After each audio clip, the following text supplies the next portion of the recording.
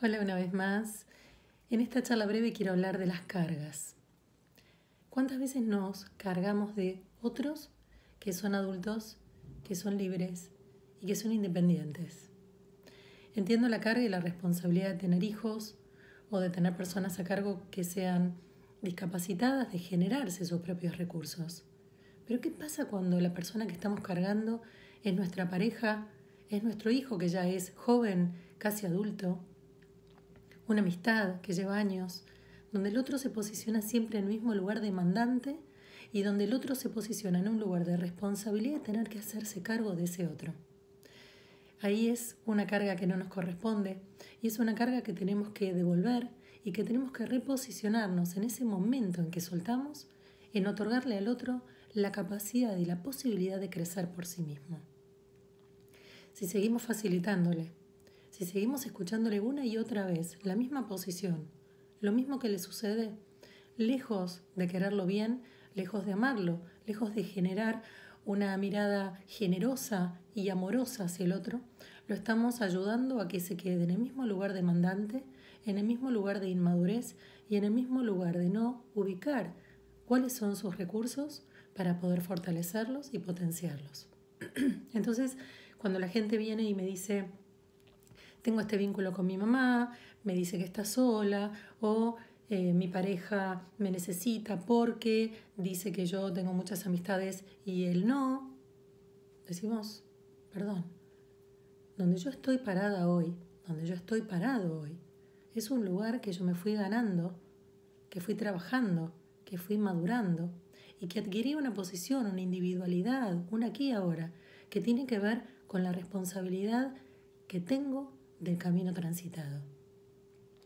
Entonces, si me estoy haciendo cargo de un otro, y el otro es un adulto responsable, que es una etiqueta, es una definición, es una manera de ver al otro que automáticamente te pone en autos, que te pone en la verdad de decir, espera, pero el otro tiene las mismas capacidades que yo. Ese otro tiene la misma madurez emocional, la misma posibilidad de madurarla, la misma posibilidad de analizar los pensamientos, el mismo cuerpo y los mismos valores y sentimientos. Cada persona tiene los mismos cuatro cuerpos. Depende de la tarea ardua, del compromiso que tenemos con nosotros mismos de hacernos cargos en madurarlos y en llevarlos a que sean esos valores, virtudes que nos ayuden a vivir mejor. Entonces, así como nosotros trabajamos con las nuestras, es importante que soltemos al otro para que trabaje con las suyas. Estar en pareja, ser la hija de, ser la madre de, no nos pone en un lugar de obligación donde tenemos que hacernos cargo de, donde la carga del otro es nuestra carga. Esa es una manera de pisar los zapatos del otro de una manera enfermiza. Porque indefectiblemente cuando nosotros nos paremos en el lugar del otro y nos hagamos cargo de su carga, le vamos a reprochar, nos vamos a enojar, vamos a guardar rencor, vamos a guardar rabia. Y entonces ahí empieza a ser un vínculo enfermizo. Otra manera de cargar con cosas heredadas tiene que ver con cargar mandatos, con cargar aquellas imposiciones ancestrales, familiares, de clan, de tribu, que tiene que ver con lo heredado. Ya basta con lo heredado, ya basta con los ancestros, ya basta con cargar lo que venimos cargando generaciones tras generaciones. Este es un momento de comenzar un camino nuevo. Este es un camino, un momento donde la humanidad por completo se paró en un lugar diferente y tiene que ver la vida de una manera diferente, más flexible, más ágil, más inmediata, y para eso tenemos que liberarnos de las cargas, responsabilidades, mandatos, herencias que venimos trayendo hasta aquí, de esta vida o de familia, o de lo impuesto, o de lo que se esperó de nosotros, o lo que sentimos que se nos obligó a hacer. Ya basta con eso. Parémonos hoy, empecemos a darle aire fresco a nuestra individualidad y trabajemos en pos de esa individualidad no sintiendo que por hacer cosas para nosotros estamos siendo egoístas. Recuerden que hay una diferencia amplia entre individuo y egoísmo. El primero es un derecho, y el derecho se basa en estos cinco tiempos que les cuento y les digo una y otra vez. Tiempo uno mismo, tiempo en pareja, familia, trabajo, amigos. Los otros cuatro dedos en el orden que quiera, pero en el primero estoy yo. Está mi uno mismo, está mi individuo, en ese pulgar, en ese lugar que nos diferencia de otros animales, diciendo, yo soy y a partir de ser puedo ser un buen individuo con otros. Yo me doy amor, yo me doy respeto, yo me doy lugar y a partir de allí puedo dar amor, respeto y lugar a otros. Si no, es un vínculo enfermizo, es un vínculo de dependencia. No importa si el otro depende de nosotros, indefectiblemente va a hacer que nosotros dependamos del otro. Si yo me siento responsable por el otro, si yo tengo que cuidar a mi madre mayor porque ella me necesita, si mi padre me demanda mi presencia, tiene que ver con que estoy ocupando un lugar que no es certero, que no es acertado para mi individuo, porque el otro tuvo un camino elegido hasta ese momento, se haga cargo o no, y yo no tengo por qué responder por ese otro. Cada uno de nosotros tenemos los recursos de generar vínculos, de generar entretenimiento y de enaltecer y engrandecer nuestra vida interior con muchísimos recursos que eran mucho más de los que tenían hace 40, 50 o 60 años.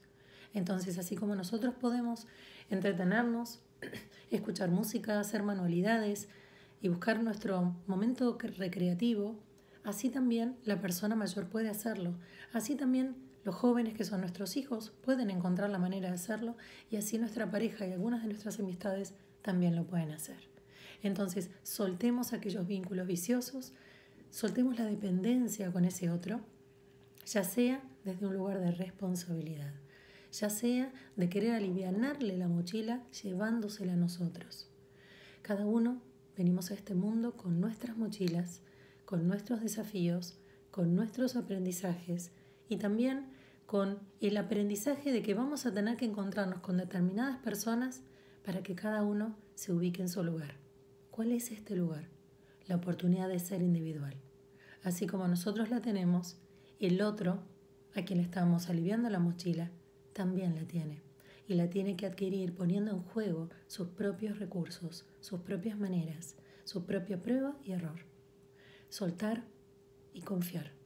Comencemos a observar, a analizar, a ver nuestros vínculos, revisémoslos uno por uno, viendo dónde siento que estoy cargando la mochila del otro, donde me siento responsable por el camino de alguna amistad que está necesitando algo, porque tiene una adicción, porque tiene una obesidad, y resulta que nosotros nos dedicamos años y años y años a ayudar a esa persona y esa persona no se está ayudando.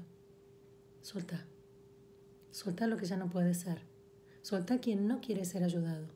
Solta al que está obteniendo un beneficio secundario con este pedido de atención, de tristeza crónica, de, adicción, de necesidad, de sensación de victimización, donde ya ves que han pasado muchos años y seguís parado en el mismo lugar, parada en el mismo lugar. Solta, deja que el otro experimente.